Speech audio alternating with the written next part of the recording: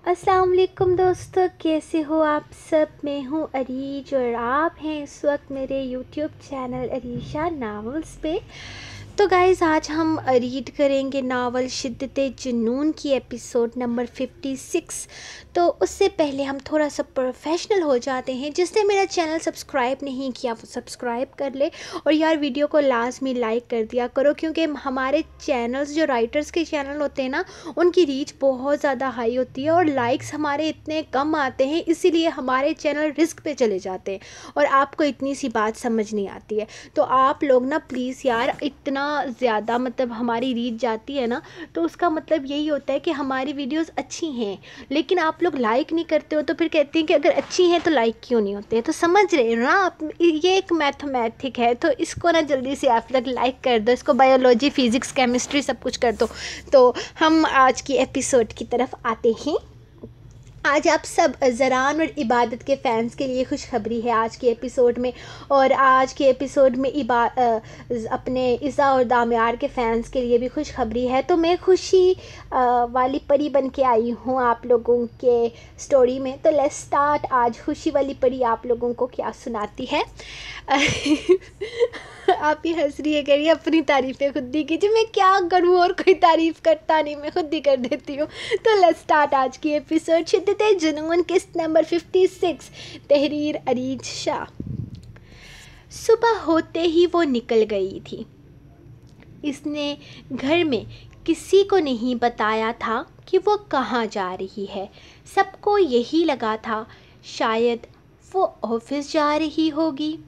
क्योंकि कल इसने जरान से अलग होकर बात की थी, हो सकता है इनमें सब कुछ ठीक हो गया हो।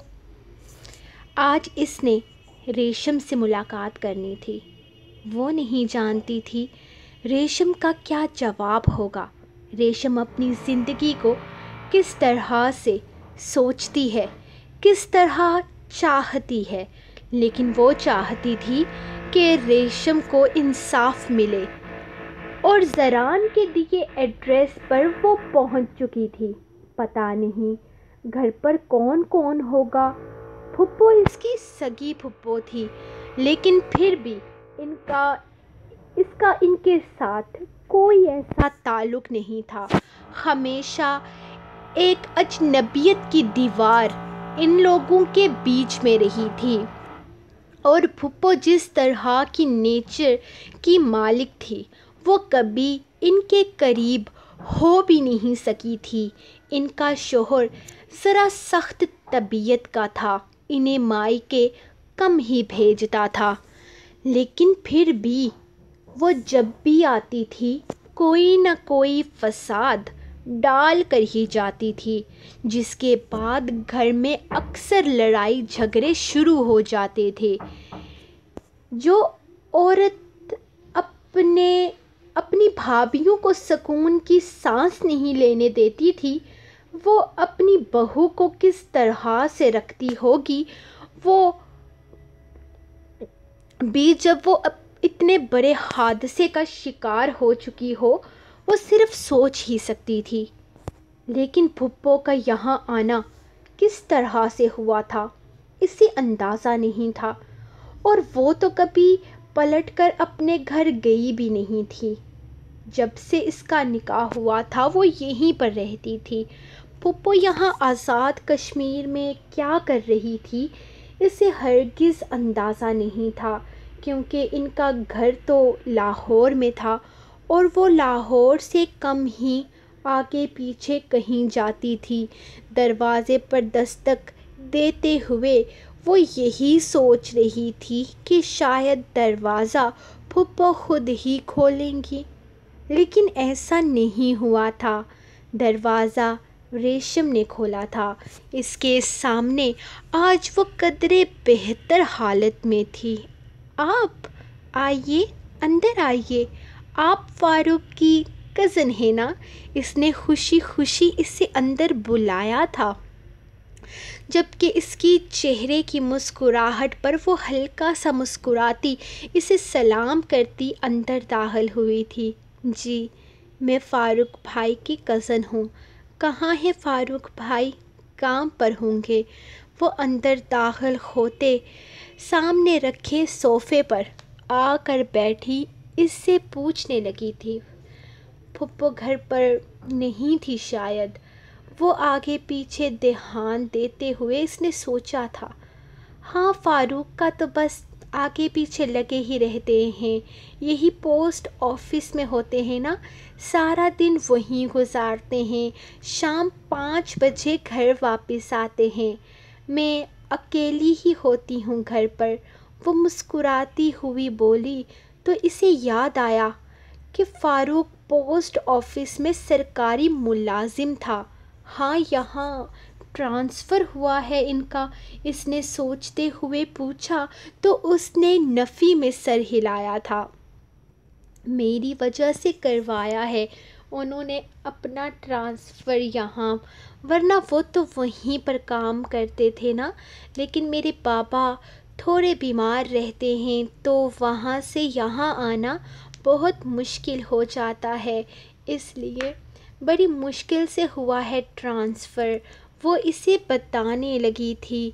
और फुप्पो किधर है? इसने पूछा। वो तो लाहौर वापस चली गई है ना? वो यहाँ पर तो नहीं होती। वो लाहौर में रहती हैं। बस कभी कभार आती रहती हैं मिलने के लिए। इसने बताया तो वो हैरत से इसे देखने लगी। यानी कि यहाँ पर सिर्फ़ वो दोनों हस्बैंड वाइफ रहते थे। इनके अलावा कोई तीसरा यहाँ पर नहीं रहता था। खैर, मैं लंबी चोरी बात करने नहीं करूँगी रेशम। मैं तुमसे ये बात करने आई थी कि फुप्पो ने मुझे तुम्हारे बारे में बताया कि तुम्हारे साथ ज़्यादती हुई थी और जिस लॉयर ने तुम्हारा केस लड़ा था, इसकी बेईमानी की वजह से वो केस तुम जीत नहीं सकी।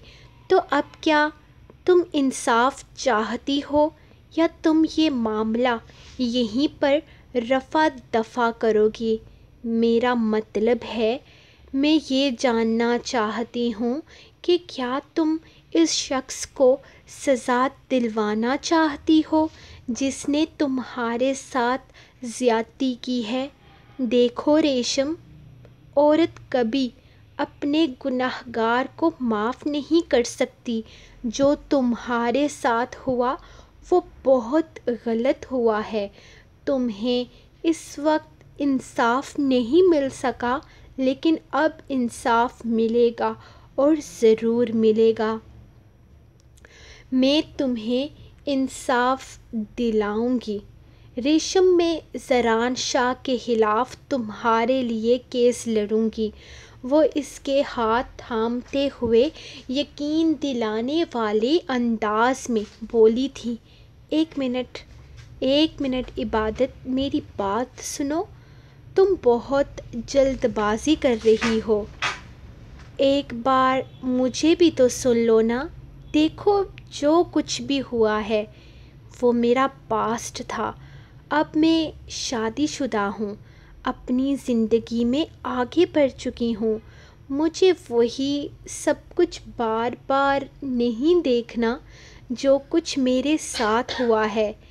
इसमें कुछ गलतियाँ मेरी भी थी, जो कभी सामने नहीं आई। और मैं नहीं चाहती कि अब वही सब कुछ मैं दोबारा अपनी आँखों से देखूँ। मैं अपनी ज़िंदगी में बहुत खुश हूँ।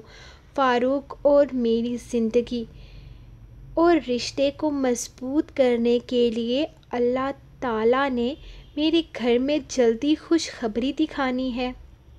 मैं अब नाशुक्री नहीं करना चाहती। मैंने अपना मामला अल्लाह के सपुर्द कर दिया है। वो बेहतर जानता है कि क्या होगा। लेकिन मैं अब अपनी ज़िंदगी को अंधेरों की नज़र नहीं कर सकती। अल्लाह बेहतर जानने वाला है। मेरे हिस्से की खुशियाँ मुझे मिल चुकी हैं। मैं दुखों को बार बार खुद पर हावी नहीं कर सकती। वो साफ़ अल्फाज में इसे इनकार कर रही थी, जबकि इबादत बेयकीनी से इसे देख रही थी। क्या तुम पर किसी तरह का प्रेशर है? क्या तुम्हें किसी ने कुछ कहा है? ना जाने क्यों इबादत को इसकी बात पर यकीन ना आया था। मुझ पर कोई प्रेशर क्यों होगा इबादत? मैं खुश हूँ। क्या मैं तुम्हें खुश नज़र नहीं आ रही? मेरी सास थोड़ी अलग तबीयत की हैं। इन्हें आदत है हर चीज़ पर हाथ चढ़ा कर बताने की और वैसे भी वो सबको नीचा दिखाने में लगी रहती हैं। इनकी बात पर बुरा मना कर, मैं अपनी ज़िंदगी थोड़ी ना किसी मुश्किल की नज़र करूँगी। वैसे भी, फारूक ने शादी से पहले ही मुझे बता दिया था कि इसकी अम्मी किस तरह की तबीयत की मालिक हैं और मुझे एतराज़ नहीं था और मुझे अब भी एतराज़ नहीं है। इन्हें तो मेरा सजना संवरना तक पसंद नहीं है कि कहीं मैं इनके बेटे को काबू ना कर लूँ। अगर तुम उस दिन वाली अम्मी की बातों को दिल पर लेकर ये सब कुछ कह रही हो तो मत कहो, मुझे इनकी बातों से कोई फ़र्क नहीं पड़ता। मैं अपनी ज़िंदगी में खुश और मतमीन हूँ। अम्मी तो कभी कभार यहाँ आती हैं, कुछ दिन रहती हैं और फिर चली जाती हैं। इनके साथ मेरा सिर्फ़ इतना सा ही ताल्लुक़ है। मेरा शोहर मुझे हर तरह की हामी के साथ कबूल कर चुका है और मैं पुरानी चीज़ों को खुद पर सवार करके इसकी मोहब्बत की नाकदरी भी नहीं कर सकती। मुझे कोई इंसाफ नहीं चाहिए। मैं अपनी ज़िंदगी में बहुत खुश हूँ। ज़्यादा से ज़्यादा क्या इंसाफ क्या ही मिल जाएगा मुझे? अरफान खान को सज़ा हो जाएगी चार पाँच महीनों की। और फिर वो जेल से बाहर आ जाएगा और फिर मेरी ज़िंदगी हराम करेगा। फिर क्या कर लूँगी मैं? कुछ भी नहीं। मैं जैसी हूँ, जो हूँ, खुश हूँ। इस यकीन के साथ आगे बढ़ रही हूँ कि अरफान खान कभी मेरी ज़िंदगी में दोबारा नहीं आएगा। मैं खुद इसे अपनी खुशियाँ बर्बाद करने की वजह नहीं दे सकती। वो अपनी बात मुकम्मल कर चुकी थी, जबकि इबादत मज़ीद वहाँ ना बैठ सकी।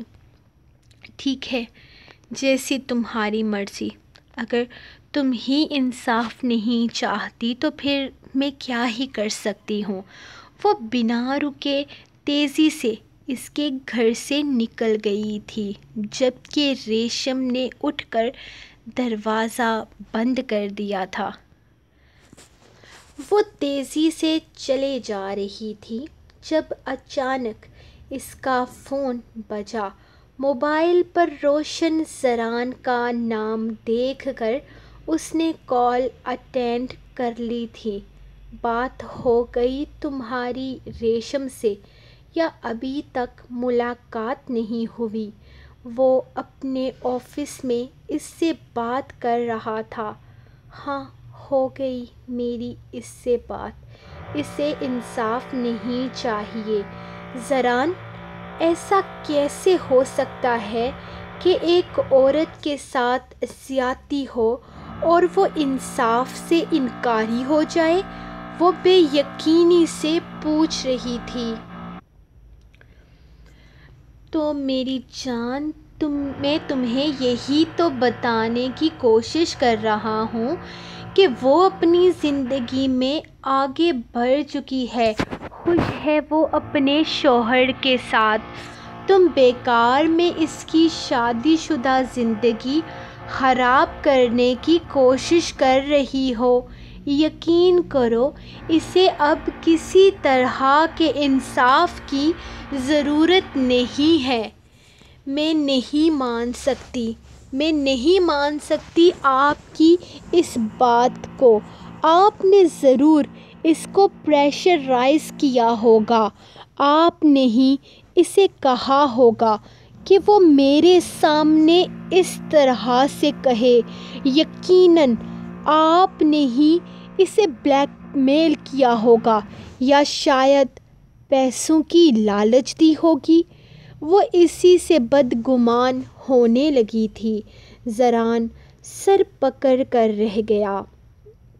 इबादत तुम्हारा दिमाग ख़राब हो रहा है और कुछ भी नहीं। कहाँ हो तुम? तुम्हें लेने आ आ रहा हूँ मैं तुम्हें लेने के लिए। वो चाबी उठाते हुए उठ खड़ा हुआ था। नहीं, कोई ज़रूरत नहीं है।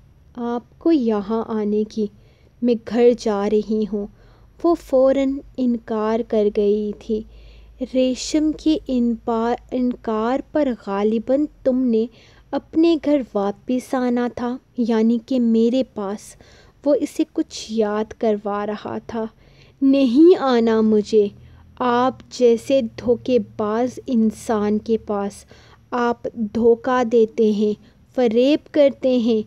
पैसों के लिए ना जाने कितने लोगों की ज़िंदगी तबाह कर चुके हैं। नहीं रहना मुझे आपके साथ। वो अब भी गुस्से से बोली थी, इबादत अपनी राहें। मुश्किल मत करो। क्यों अपने रास्ते में खुद कांटे उगा रही हो? मैं अब तक बर्दाश्त कर रहा हूँ। सिर्फ़ इसलिए क्योंकि मैं तुमसे मोहब्बत करता हूँ, वरना तुम जानती हो कि इस तरह से बात करने वालों का मैं क्या हाल करता हूँ। मुझे कुछ गलत करने पर मजबूर मत करो, वो सख्ती से कह रहा था। क्या करेंगे आप? ज़्यादा से ज़्यादा क्या कर लेंगे? इसे गुस्सा आने लगा था। ज़रान की बेरहमी पर तुम्हें उठा कर ले आऊँगा। अपने साथ, बीवी हो तुम मेरी। दुनिया का कोई कानून मुझे रोक नहीं सकता, और वैसे भी। दादी ने तो तुम्हारी रुखसती कर दी है। मैं तुम्हें वहाँ रहने की इजाज़त दे रहा हूँ। यही तुम्हारे लिए बहुत बड़ी बात होनी चाहिए। मेरे सब्र का इम्तहान मत लो इबादत दूसरों के लिए। अपनी ज़िंदगी बर्बाद मत करो, वो समझा रहा था। मुझे आपके साथ ना तो आज रहना है और ना ही आगे कभी। आप एक धोखेबाज इंसान हैं। आप अपने पेशे के साथ मुखलिस नहीं हैं, ठीक है? अगर तुम्हें नहीं रहना तो ना सही। अब मैं भी तुम्हारी मिन्नतें नहीं करूँगा। अब तुम खुद आओगी मेरे पास, याद रखना। मिसिस इबादत जरानशा अब मैं तुम्हारे लिए तुम्हारी राहों में बिछा नहीं मिलूँगा तुम्हें। बहुत इम्तहान ले लिया तुमने मेरे ज़ब्त का। अब तुम खुद आकर मेरी मिन्नतें करोगी। वो कहते हुए फ़ोन बंद कर चुका था, जबकि इबादत सर झटकते फ़ोन बैग में डाल चुकी थी। कार्ड्स छप चुके थे। वो हैरत से सामने कार्ड पर अपना और दामियार शाह का नाम पढ़ रही थी। कभी सोचा भी नहीं था कि दामियार शाह का नाम कभी इस तरह से इसके नाम के साथ जुड़ जाएगा और वो इतनी बेबस होगी कि कुछ भी नहीं कर पाएगी। ये थी इसकी ज़िंदगी। यूँ फैसला होना था इसकी ज़िंदगी का। एक अनजान शख्स हमेशा के लिए इसकी ज़िंदगी का मालिक बनने जा रहा था और वो खुद अपनी मर्ज़ी से इसे मालिक बना रही थी। कुछ नहीं कर पा रही थी वो अपने लिए, अपनी बेबसी की इंतहा महसूस करते। इसका दिल चाहा कि वो फूट फूट कर रोते, लेकिन नहीं, वो क्यों रोती?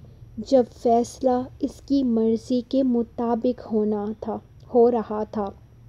क्या जवाब देती? वो अपने आंसुओं का सबको कि अब क्यों रो रही है? क्यों आँसू बहा रही है? जो वो चाहती थी, वही तो हो रहा है।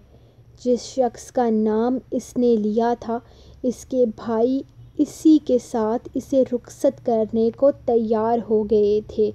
वो इसे इसकी ज़िंदगी का फ़ैसला करने का हक दे चुके थे। तो क्यों रोती वो अपने आँसू बेदर्दी से साफ़ करते हुए वो एक दफ़ा फिर से दामियार शाह के नाम पर नज़रें फेरने लगी थी।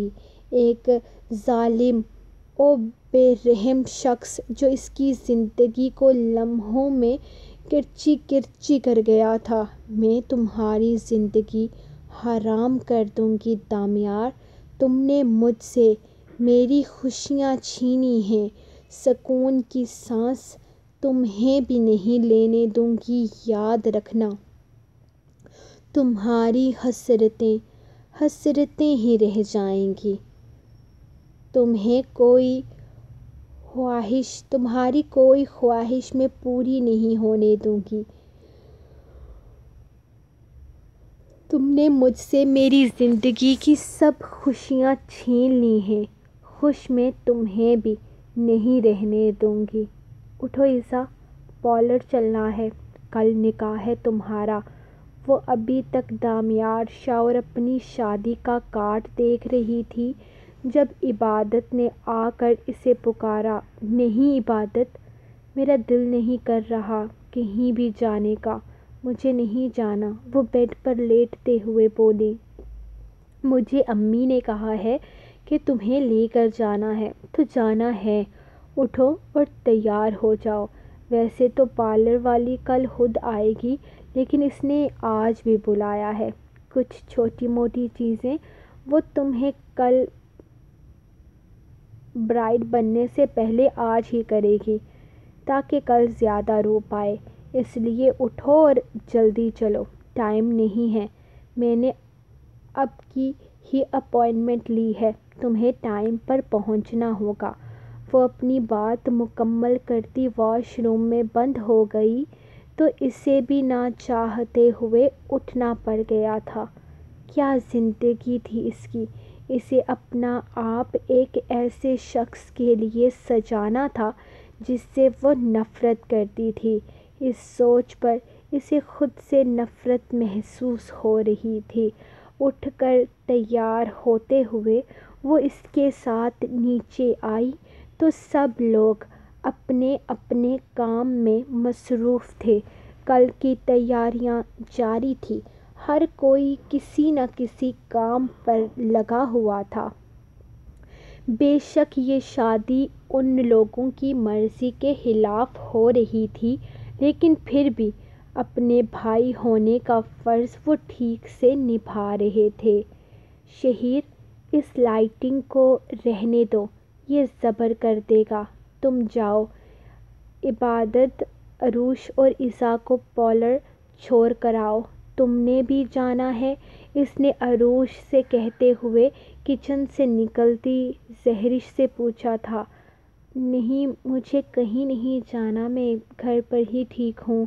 वो जवाब देती वापस अपने काम की गर्ज से किचन में चली गई थी जब ये शहीर सिर्फ़ हाँ में सर हिलाता, अरूश को आने का इशारा करता, इन्हें पार्लर ले जाने को बाहर निकला था।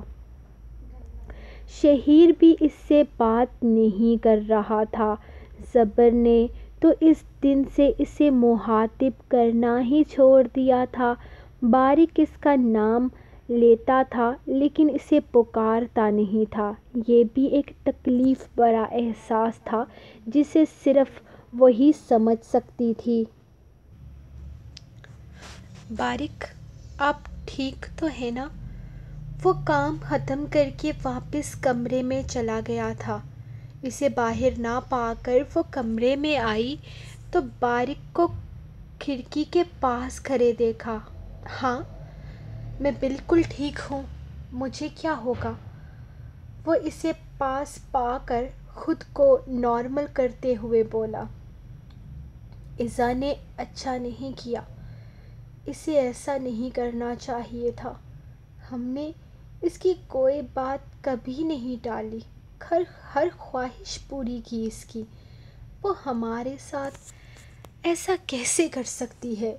वो बेयकीनी से कह रही थी। हमसे ज़्यादा इसके लिए वो शख्स अहम हो गया है सहरिश लोग कहते हैं मोहब्बत में इंसान अंधा हो जाता है। लेकिन ये कैसी मोहब्बत है जो इंसान को सही गलत की पहचान नहीं होने देती?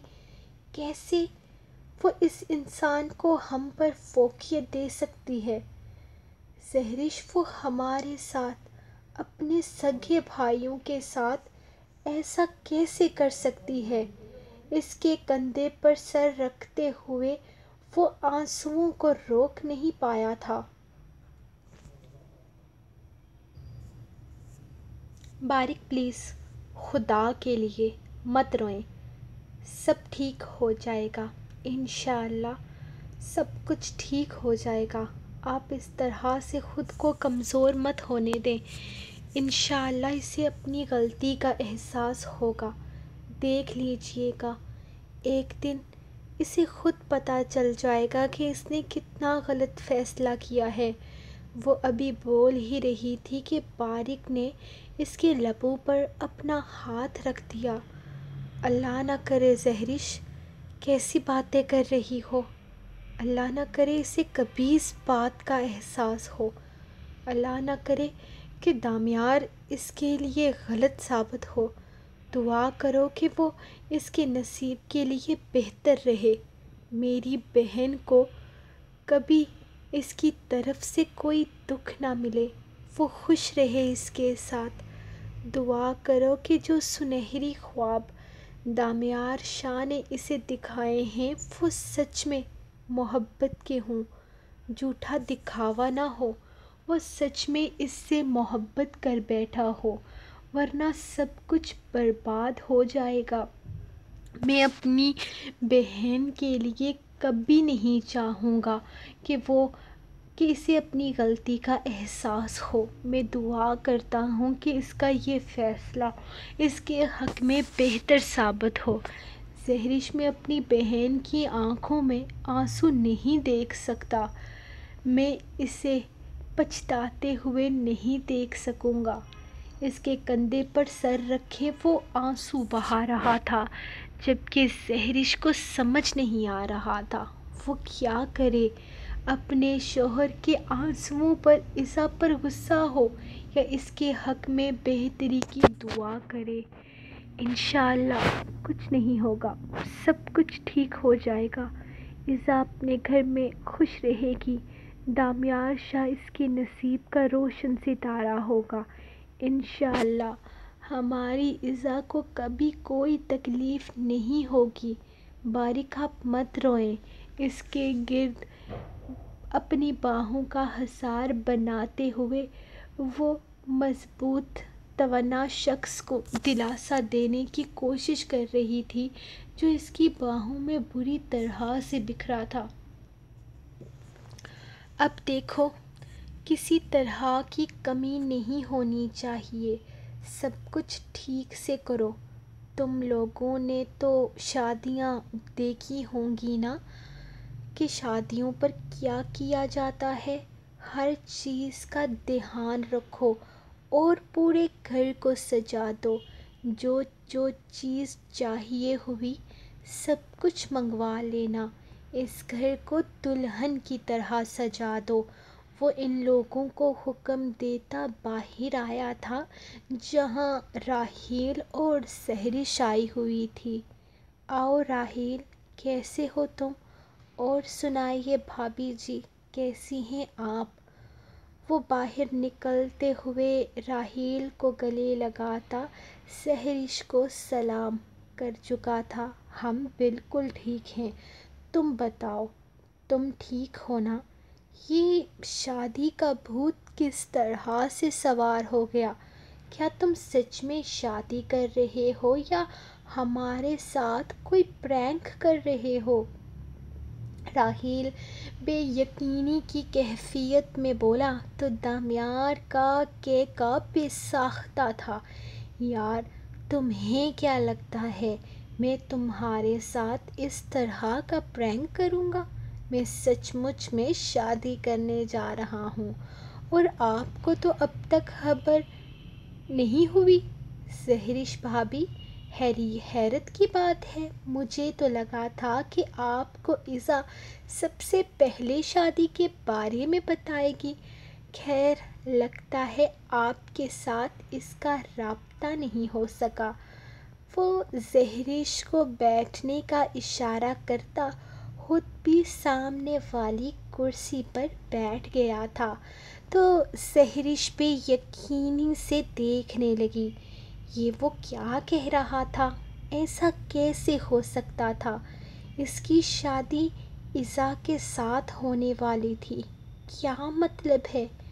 मैं समझी नहीं।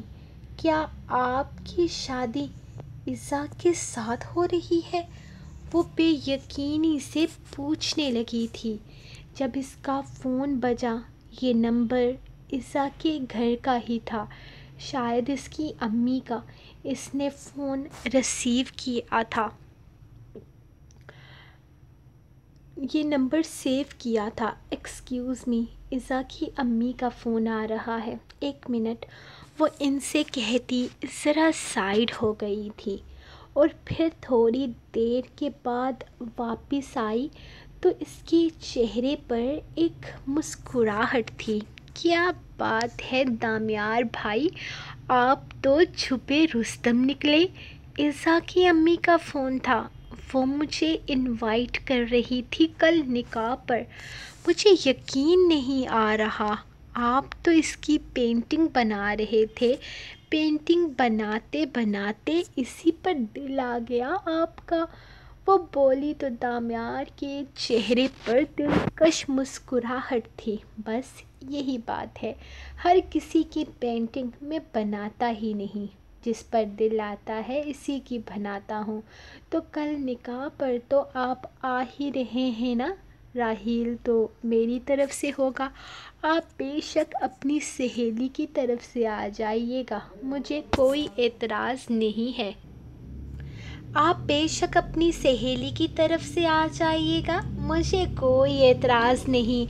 वो मुस्कुराया था, जबकि राहील अब तक बेयकीनी की कैफियत में था। वो लड़की जिसे वो कभी अपने बिस्तर पर लाना चाहता था इससे निकाह का फ़ैसला भी, वो भी दामियार शाह, जो औरत ज़ात से नफ़रत करता था।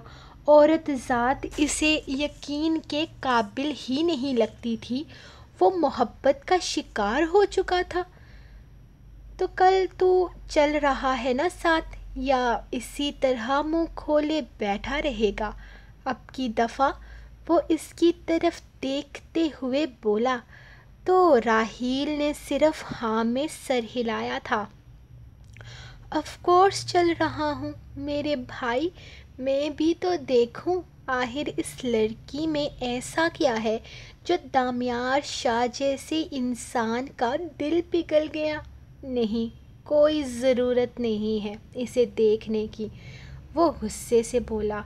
अरे यार, भाभी की नज़र से देखूँगा ऐसी वैसी नज़र से देखना छोड़ दिया है।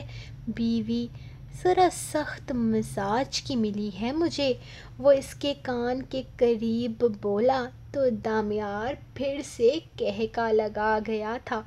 बिल्कुल सही काबू चरा है तू, वो हँसते हुए बोला। और तू भी जल्द ही काबू चढ़ने वाला है मेरे भाई। राहील ने इसके कंधे पर हाथ मारते हुए कहा था, जबकि वो तो किसी और ही सोच में था। आखिर वो दिन भी आ ही गया था, जब सबके सामने दामियार शाह इसे अपने नाम लिखवाने वाला था, और आज वो किसी तरह का एतराज़ नहीं उठा सकती थी। पॉलर वाली इसे तैयार करके जा चुकी थी। सफ़ेद रंग के खूबसूरत शरारे में वो आसमान से उतरी कोई अप्सरा ही तो मालूम हो रही थी। इबादत ने इसके साथ आज वाइट कलर की लॉन्ग फ्रॉक पहन रखी थी। जबकि अरूश और जहरिश के लिबास भी इबादत के जैसे ही थे। पहले निकाह होगा, इसके बाद तुम्हें नीचे बुलाया जाएगा। मौलवी साहब इसी कमरे में आएँगे निकाह परवाने के लिए। तब तक तुमने यहीं इसी कमरे में रहना है। मैं नीचे जाकर देखती हूँ, कोई काम वगैरह ना हो। इबादत इसके करीब से उठती, नीचे चली गई थी। जबकि वो कमरे में अकेले बैठे, एक दफ़ा फिर से अपनी सोचों में जा चुकी थी। दामियार शाह का वेलकम बहुत अच्छे से किया गया था। मेहमान लड़कियों ने इस पर फूलों की बरसात की थी, जबकि सहरिश बहुत लेट पहुँची थी। इसका इरादा इज़ा के पास जाने का था, लेकिन इबादत को काम में मसरूफ़ देख कर वो इसकी हेल्प करवाने लगी। इज़ा से मिलने गई तो वहाँ पर पहले ही पॉलर वाली और इनके कुछ जानने वाले थे, जिनकी वजह से वो इज़ा से कुछ भी नहीं पूछ पाई थी, वरना दामियार शाह जैसी चॉइस। ईसा की तो हरगिज़ नहीं थी। शायद वो कभी भी दामियार शाह जैसे इंसान से शादी करने के बारे में नहीं सोचती। लेकिन फिर भी इबादत ने इबादत ने बात हुई, बातों ही बातों में इसे बताया था कि दामियार शाह ईसा का कज़न भी है। और ये इसके लिए दूसरी हैरत वाली बात थी, क्योंकि ईसा ने कभी इस चीज़ का ज़िक्र नहीं किया था। और दामियार ने भी तो ये बात इसे नहीं बताई थी। लेकिन वो ज़्यादा तफसील में नहीं गई थी, बल्कि अब दूल्हे वालों के आ जाने की वजह से वो ये सब सब लोग बाहर आकर छोटी छोटी रस्में कर रही थी, लेकिन वो नोट कर रही थी कि कोई भी ज़्यादा खुश नहीं था, या शायद इससे ही गलत फहमी हुई थी। जाओ इबादत, ज़रान को बुला लाओ। निकाह की रस्म शुरू हो रही है। बारिक के कहने पर वो फ़ौर बाहर निकल आई थी। जहाँ ज़रान आराम से बाहर बैठा अपने मोबाइल पर लगा था। ज़रान, आप, आपको अंदर बुला रहे हैं। अब तो आपको अपनी कसम तोड़नी ही पड़ेगी, क्योंकि बहन के निकाह का मामला है। वो कहकर पलटने ही लगी थी कि इसका सर बुरी तरह से चकराया। इससे पहले कि वो गिरती, जरान ने आगे बढ़कर इसे थाम लिया था। आराम से चलो। हर वक्त भागम भाग करने से अपना ही नुकसान होता है, दूसरों का नहीं। अपने पैरों पर सीधी खड़ी रहो। वो इतना रूडली बोला था कि इबादत इसका अंदाज़ देखकर हैरान रह गई। आप मुझसे इस तरह से बात नहीं कर सकते। इसके अंदाज पर उसे अच्छा हासा गुस्सा आ गया था। हाँ क्यों नहीं? तुम बीच सड़क पर मुझे थप्पड़ मार सकती हो और मैं ज़रा सख्ती नहीं दिखा सकता। इबादत बीबी मैं साफ़ कह चुका हूँ कि अब मेरी बर्दाश्त की इंतहा हो चुकी है। अब मैं तुम्हारे रास्ते में हरगिज़ नहीं आने वाला और ना ही मुझसे किसी तरह की उम्मीद रखना। वो इसे एक साइड पर धकेलता अंदर की तरफ़ कदम बढ़ा चुका था।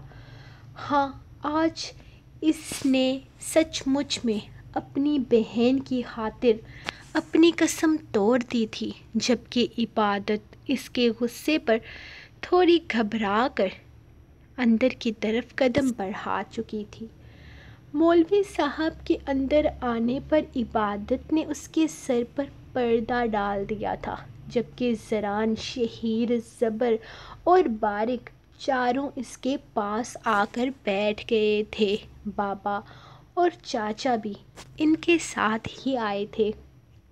मौलवी साहब ने सामने बैठते हुए इससे सवाल पूछा था, जबकि इस दिन ना सही, लेकिन आज इन सब की मौजूदगी में इसका दिल चाहा था।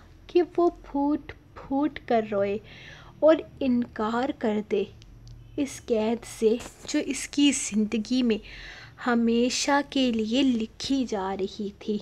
मौलवी साहब ने दूसरी दफ़ा फिर से सवाल पूछा था।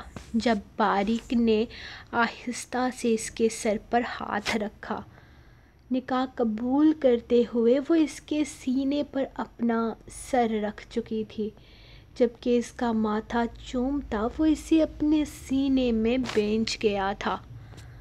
जबकि बाकी सब भी इसे दिलासा दे रहे थे।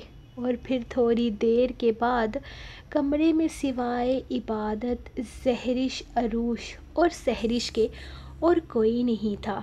सहरिश अरूश को भी यहाँ देखकर हैरान थी जो ईज़ा की भाभी बन चुकी थी। इससे तो यहाँ झटकों पर झटके लग रहे थे। मौलवी साहब के सवाल पर उसने फ़ौरन निकाह की कार्रवाई मुकम्मल की थी। निकाह को कबूल करते हुए इसने ईज़ा को अपना बना लिया था। आज सबकी मर्ज़ी के साथ वो इसकी हो चुकी थी। इसके खुशी की कोई इंतहा ना थी। आज इसकी मोहब्बत इसे मिल चुकी थी। इबादत हफीसा हमेशा हमेशा के लिए इसकी दस्तरस्त में आ चुकी थी। निकाह की कार्रवाई मुकम्मल होते ही सबने बारी बारी इसे मुबारकबाद देकर गले लगाकर मुबारकबाद दी थी। जब ईसा को बाहर लाने का कहते, बारिक ने इबादत को इशारा किया था, चलो ईसा, तुम्हें लेकर जाना है। फ़ोटो सेक्शन होगा तुम्हारा और दामियार भाई का। इबादत ने आकर इससे कहा था, जबकि वो अपना शरारा संभालती उठकर खड़ी हुई ही थी कि इबादत को ज़ोरदार चक्कर आया था और इस दफ़ा वो संभलने की बजाय लड़खड़ा कर बेहोश होती ज़मीन पर गिर गई थी। इबादत इज़ा परेशानी से इसके पास आने लगी थी। अरूश सहरिश, तुम दोनों इज़ा को बाहर लेकर जाओ। मैं इबादत को देखती हूँ।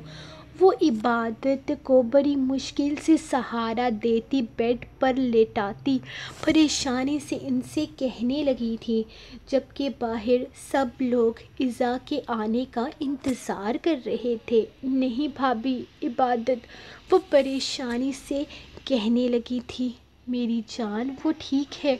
कुछ नहीं हुआ है इसे। तुम जाओ बाहर। सब लोग इंतज़ार कर रहे हैं। मैं हूँ ना यहाँ इबादत के साथ। वो इसका गाल थपथपाती इसे बाहर भेज चुकी थी, जबकि इबादत के इस तरह बेहोश होने पर वो खुद भी हैरान रह गई थी।